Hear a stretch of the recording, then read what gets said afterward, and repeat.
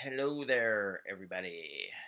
This is Bryce from the Bro Bryce Vlogs channel, and yes, my hair is trashed. I've been sick for like four days, and I'm really, I'm really sick of being sick. I, I, I don't know. I've been sick a lot lately, and I'm really tired of it. I'd like to not be sick.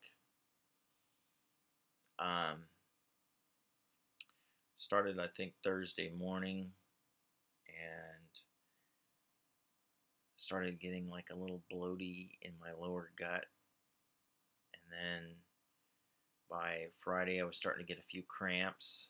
And by Friday night uh, I was down at the service center and normally I stay there I don't know I stay there close the place down and uh, sweep the place up and whatever but I couldn't really stay. I was pretty miserable, having bad cramps. I could hardly move. So I came back home. And that's really the last time I left my house, really, for any sizable period of time.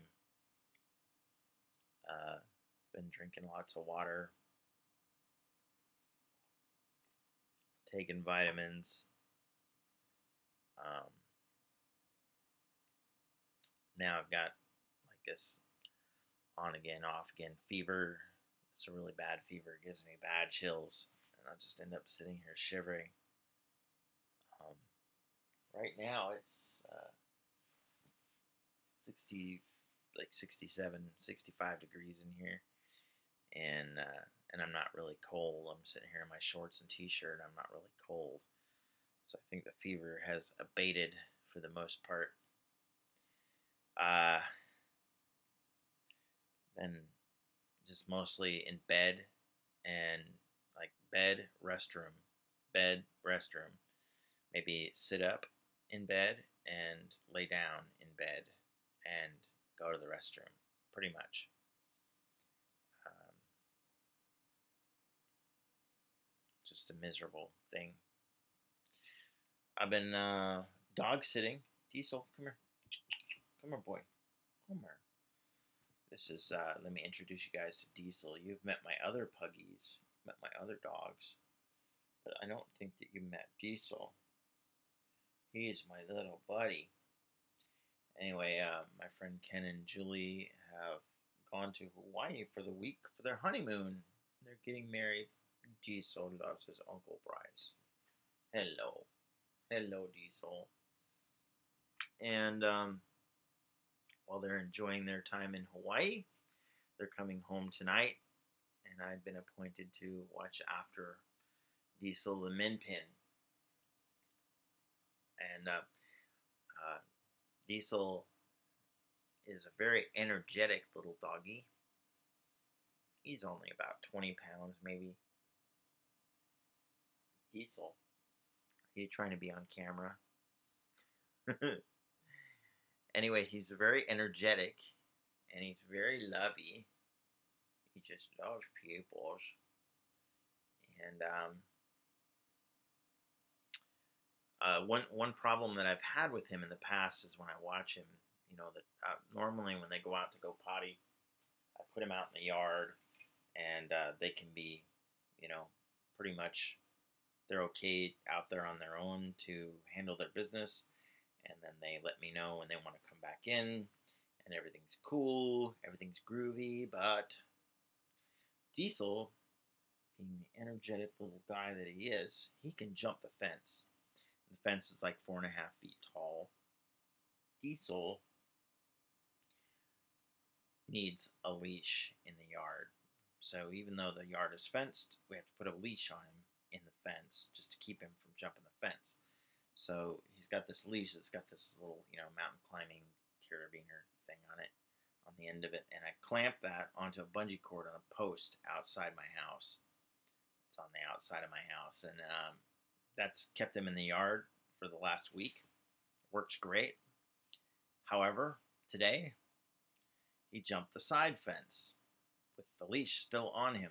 So he literally just, as I was telling Ken and Julie before they left, the what's the worst that can happen is he'll jump the fence and he'll be sitting on the other side of the fence, wondering, why can't I go anywhere? I'm over the fence. I should be free, right? Anyway, so he ends up over on the other side of the fence. My next door neighbor texts me, thank you. Texts me on Facebook, says, uh, the min pin is over in my driveway. I think he hopped the fence. And sure enough, Diesel jumped the fence and he was sitting over there crying because he couldn't go anywhere. It was so sad. So I picked him up, dropped him back on the other side of the fence, and um, brought him inside. Um, haven't been able to spend a lot of time outside lately. I want to get the Bro Bryce Gardens channel back up and running. In fact, I was going to shoot some videos with my buddy James this weekend, but I couldn't really get out of the house. I was just miserable, just in a lot of pain, a lot of cramps, and um, I need to go see a doctor. As from what I understand, this Giardia thing, it doesn't really go away. You may end up with less symptoms or no symptoms, but you still have it. You might be a carrier. You could spread it to other people.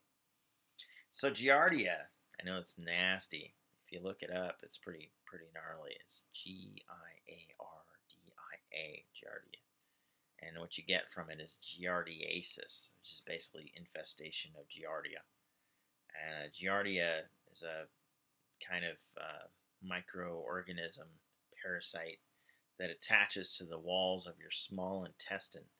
And they have these little, you know, flagellum tentacles. So they have like a sucker here they have these flagellum and they stick up to your side of your intestine. And um, seen pictures of uh, uh, intestine that's just covered with these things. And uh, causes bloating and distension and um, all kinds of miserableness. And it causes you not to be able to absorb fat properly. And it causes you not to be able to absorb water properly so you may be dehydrated, you may experience weight loss, anorexia. I know, crazy, huh? Um, end up with a bloated stomach, but no skin on your bones, that kind of thing.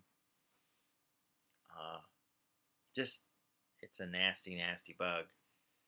And I guess your body can somehow adapt to it, and then you just carry it around with you or whatever, but that would be nasty too. So I need to go see a doctor and get rid of this thing because you can, I guess, you can carry it around with you for years, even. Most people, I guess, experience problems with it for weeks, but it can. There's no really defined life cycle of these things. As long as they're getting what they need, they just continue to exist. I guess. So uh, I'm gonna try to get in to see a doctor today. That would be fabulous. I need to see a doctor, but I don't know. It's like they're going to want me to get a stool sample. I just know this. That's just that's just pleasant, isn't it? Don't you just love thinking about that? Um, anyway, along with, I'll just change the subject because I know you want me to. Along with uh, watching Diesel, the min pin here, I've been uh, watching his girlfriend, Mish the cat. Um, or at least I was supposed to. So when Ken and Julie went off to their honeymoon, they assigned me to also bring the cat inside and uh, let the cat in at night and let, let, the cat out in the morning. And uh, I don't know, those of you that know me, you probably know that I'm not a cat person. Uh, it's going to make me less popular, I know, but I really don't like cats. I I pretty much hate cats. I don't know why, but most cats still like me. But I don't really like cats, and I've had some really bad, bad. You wouldn't believe me if I told you bad experiences I've had with cats. I just don't like them, and I think they're just mean little monsters.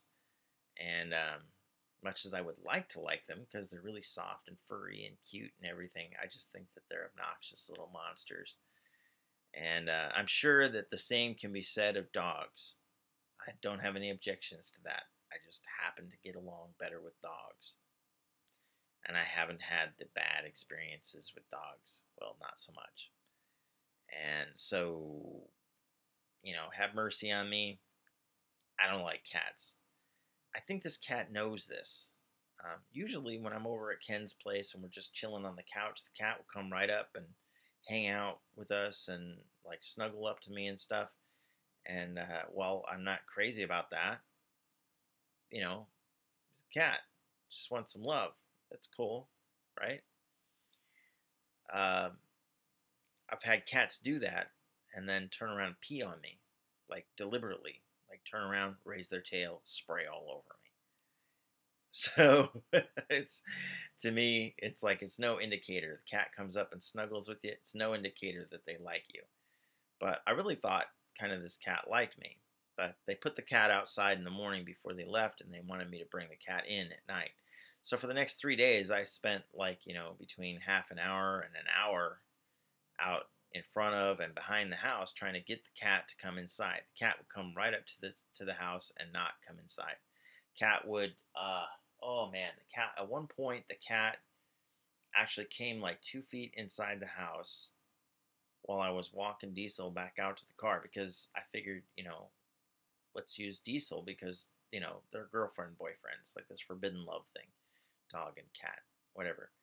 Anyway, um they're they're best friends. And so I took Diesel out to, out to the car and the cat's sitting out in the walkway staring at the door goes up to the door, goes right up to the door, stops at the door, and starts taking very careful little, slow little steps toward the inside of the house and ends up like two feet inside the house. I come up behind the cat to close the door, and the cat just turns around, bolts outside, just past me, and did not come back. And I couldn't get within three feet of the cat after that. I tried for, you know, another day or so to, to do it, but eventually Ken had to call from Hawaii, he had to call his next door neighbor and line it up with her. And I gave her a key to the house, and she went in and let the cat in. And it took her like five minutes to get the cat in. Go figure. She's a cat person. I can't really compute what cats think and why they do the things they do. And I'm not trying to complain. It's just I felt bad because I was appointed to do this task and I I couldn't get it done um, for whatever reason. I'm not a cat hunter or a cat whisperer or anything like that. Maybe if I'd had a live trap or something. I don't know.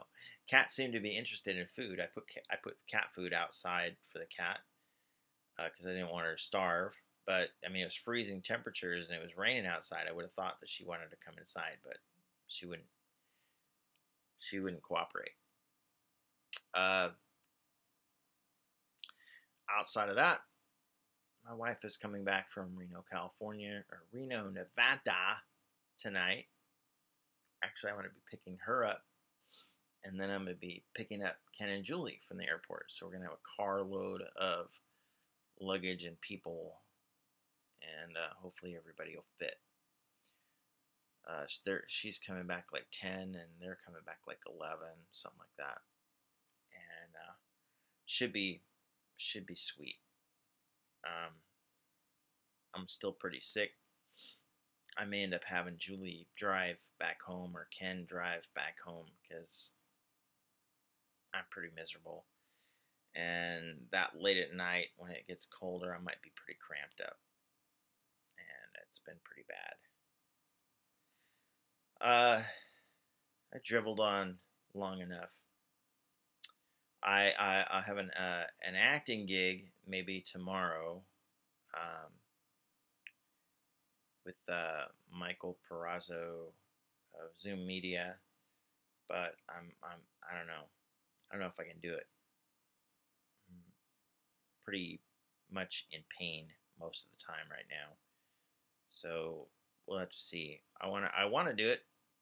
I want to get out there and do it, but like I said, I was supposed to do sound on Sunday, yesterday, and set up for that on Saturday, and I couldn't do that. I did uh, teach at the school on Thursday and Friday, and then I shot another short film on Friday that I still have to edit, but I've been just been in bed, not really I mean, after after the service center thing, I just came home, laid down, and I didn't didn't really get back up for any period of time. Uh, anyways, pray for me. Uh, today is day one for those of you that know what that's all about. Not great, but it's a new start, right? Day one. Yesterday was day zero. Uh, if you want to know what that's all about, then PM me on Facebook or here on YouTube, and I'll probably tell you. Anyway, uh, have a great day, and I'll talk to you soon.